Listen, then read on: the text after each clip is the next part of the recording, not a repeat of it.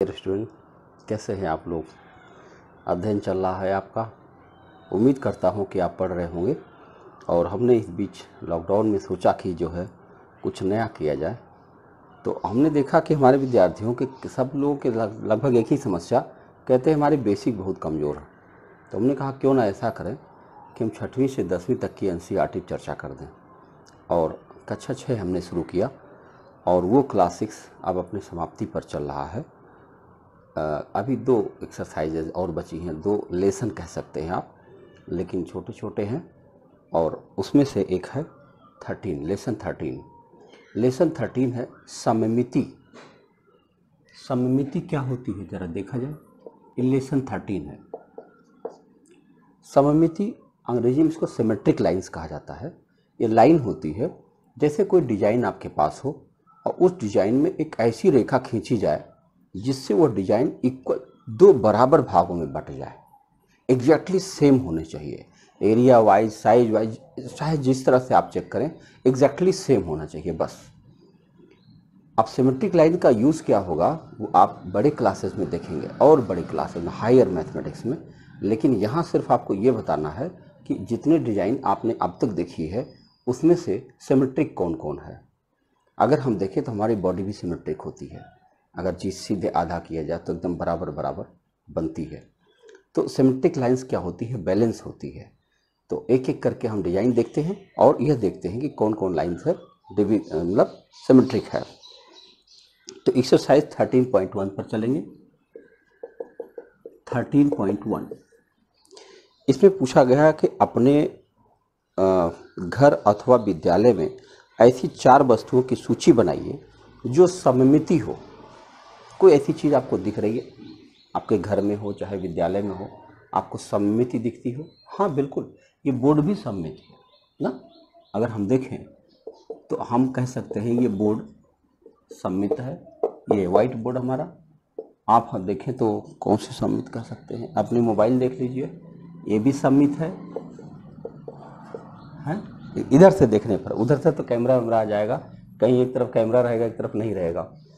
और आप देख सकते हैं अ, कुछ भी कह लीजिए अपना टेबल देख लीजिए मेज देख लीजिए सम्मित है। अपनी किताबें देख लीजिए सम्मित है।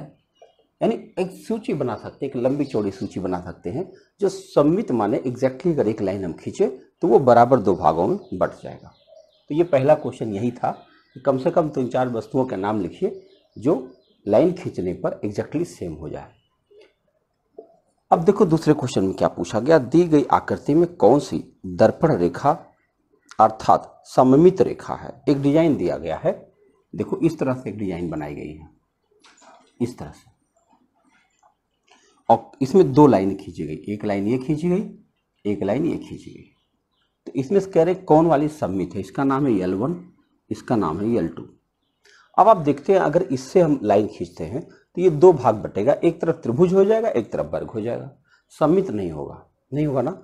लेकिन अगर इस लाइन पर हम काटें तो ये जितना ही बड़ा हिस्सा है, उतना बड़ा हिस्सा ये भी है तो एग्जैक्टली सेम हो जाएगा। तो हम कह सकते हैं कि जो एल टू लाइन है, ये हमारा दर्पण रेखा का काम कर रहा है। दर्पण का मतलब आप समझ गए होंगे कि जितनी बड़ी इमेज ये है, उतनी बड़ी इमेज आपको इधर भी मिल जाएगी।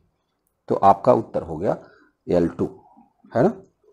फिर तीसरे क्वेश्चन में आप देखेंगे तो कुछ आकृतियाँ दिख रही होंगी आपको। तो ये बताना है कि इसमें से कई आकृतियाँ सम्मित हैं या नहीं। उनकी सम्मित रेखा भी खींचिए। अब जैसे एक ताला बनाने की कोशिश किया गया। देखिए, मैं बना दे रहा हूँ। हालाँकि चित्र आपके पास है। मैं बनाने की कोशिश करता हूँ। तीसरा क्वेश्चन है कि एक ताला बनाया गया है ऐसे। तो अगर आप देखें तो इसको हम बहुत आराम से ऐसे सम्मित रेखा खींच सकते हैं। एक ही बन पाएगी, दूसरी नहीं बनेगी। है ना? फिर बी में देखते हैं तो एक बाल्टी जैसी संरचना दिखी रही है, ऐसे। ऐसे, ये थोड़ा तिरछा ज़्यादा हो गया। एग्जैक्टली बराबर है ये। तो अगर ये एकदम बराबर है तो आराम से आप ऐसे रेखा खींच सकते हैं, जो इसको बराबर दो भागों में बांट सकता है। सी में देखते हैं तो एक अजब सा डिज़ाइन बना हुआ है। अजब सा मैं इसलिए कह रहा हूँ, ऐसे टाइप का। तो अब इसमें सम्मित रेखा नहीं खींची जा सकती। कोई रेखा ऐसी आप नहीं खींच पाएँगे कि जिसके दो एग्जैक्टली सेम फेस मिल पाए। देखो, इधर करोगे तो इधर ज़्यादा, इधर कम हो जाएगा। इधर करोगे तो इधर ज़्यादा, इधर कम हो जाएगा। तो इसमें आपका कोई सममित रेखा नहीं बन रहा। अगली फ़ोन डायल दिख रहा है। एक तो फ़ोन जैसा दिख रहा है आकृति।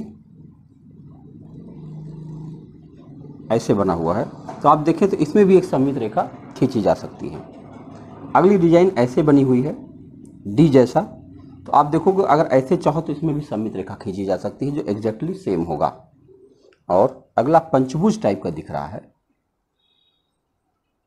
तो इसमें भी आप चाहेंगे तो इस तरह की रेखा अगर खींच दें तो एग्जैक्टली दो फेस सेम मिल पाएगा। तो यहाँ पर आपको सिर्फ़ यही बताना है कि कौन कौन सी रेखा सम्मित है और कौन कौन सी नहीं है। ठीक है? समझ में आ रहा होगा? हम आगे बढ़ते हैं। चौथा क्वेश्चन दिया गया है। नीचे दी गई आकृतियों को वर्गा वर्गाकृत पेपर पर बनाइए और अपने वर्गाकृत पेपर पर का प्रयोग अपनी पिछली कक्षाओं की अंकगणित की नोटबुक में किया गया होगा। उसी पुराने पेपर्स को ले लीजिए। इन आकृतियों को इस तरह से पूरा कीजिए कि जिससे ये सम्मित रेखा बन जाए। अब देखो, जैसे मान लो कोई वर्गाकृत कागज़ है, जिसमें एक रेखा ऐसे खींची गई है और एक तरफ़ ऐसे त्रिभुज जैसी संरचना बनी हुई है। तो अगर आप इसको पूरा करें तो ये इधर भी उसी तरह से एक त्रिभुज बना दीजिए तो कहा जाएगा कि हाँ भाई, एक सम्मित रेखा ये बन गई। बना सकते हैं। एक दूसरी डिज़ाइन दी गई है, देखिए।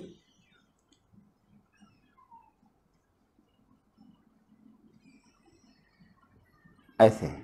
और इस पर एक सम्मित रेखा खींची गई। तो अगर इसको हम सम्मित पूरा करना चाहें तो एक ऐसे बनाए, एकदम जस्ट इसी का, जैसे लग रहा हो कि हम दर्पण देख रहे हैं। ऐसे। ज़्यादा हो गया। ऐसे, मिला दीजिए। तो आप देख रहे हैं कि यह एक ऐसी डिज़ाइन बन गई जो एग्जैक्टली दो फेस बराबर हो गया। कलाकारी है ये अच्छा हो। कुछ ना कुछ प्रयोग करते रहे, हाथ का घुमाव अच्छा रहेगा तो चित्र बनाना बहुत आवश्यक है। देखिए, और डिज़ाइन बनाई गई है। के कागज़ पर देखेंगे तो बड़ा आसान होगा बनाना आपके लिए। ऐसे है। और ये रेखा खींची गई, ऐसे। तो क्या आप बना सकते हैं ऐसे बिल्कुल बना सकते हैं। ऐसे जाए। फिर ऐसे जा, फिर ऐसे जा, फिर ऐसे जा, फिर ऐसे जा और फिर ऐसे खींच दीजिए। थोड़ा सा कम अच्छा बना है। अच्छा बनना ज़रूरी है ना। नहीं तो ये लगेगा कि नहीं भाई, ये हो ही नहीं रहा। देखिए।